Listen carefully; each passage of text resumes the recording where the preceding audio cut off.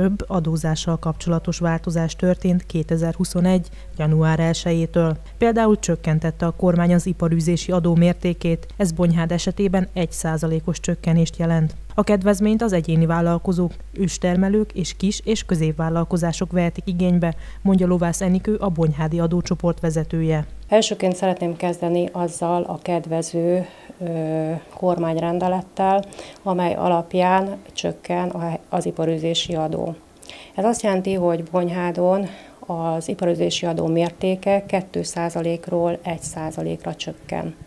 A kedvezménye jogosultak az egyéni vállalkozók, az őstermelők, és azok a kis és középvállalkozások, ahol az alkalmazotti létszám 250 fő alatti, illetve árbevételük vagy mérlegfőösszegük nem éri el a 4 milliárd forintot. A kedvezmény igénybevételének feltétele, hogy az érintettek a 638 per 2020-as kormányrendeletben foglaltak alapján nyilatkozzanak 2021. február 25-éig a székhely telephely szerinti önkormányzatoknak. A jogosultaknak az önkormányzatok a 2021 márciusi adóelőlegét hivatalból határozathozatal nélkül 50%-kal csökkenti. A 2021 szeptemberi adóelőleg részlet az 1%-os adómértékkel kerül megállapításra. A katás adózóknak nem kell nyilatkozatot beadniuk.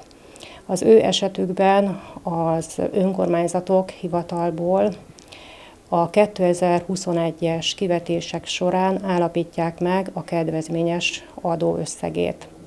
Ez azt jelenti, hogy Bonyhádon 2021-ben a katás vállalkozások 50 ezer forint helyett 25 ezer forint iparüzési adót kell megfizessenek. Ismételten szeretném felhívni a figyelmet, hogy a kedvezményre csak akkor jogosultak, ha beadják a nyilatkozatukat, és ezeket a nyilatkozatokat február 25-éig megteszik.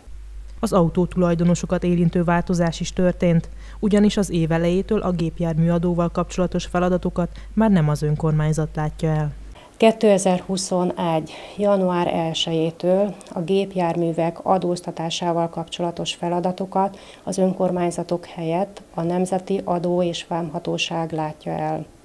Ez azt jelenti, hogy az adózók 2021-ben a gépjárműadó határozatokat, az értesítőket és a gépjárműadó megfizetéséhez szükséges csekkeket a NAV-tól fogják megkapni, és a NAV által meghatározott gépjárműadó beszedési számlára kell az, a gépjárműadójukat megfizetni. A mozgáskorlátozott mentességet igénylőknek szeretném elmondani, hogy mentességi kérelmüket 2021-től az állami adóhatóság felé kell benyújtsák. Azok, akik ezt a jogosultságot korábban igényelték, és jogosultak voltak rá 2020. december 31-én, részükről nincs semmi teendő, mivel az önkormányzati adóhatóságok a mentességekről adatot szolgáltattak a Nemzeti Adó és Vámhatóság részére.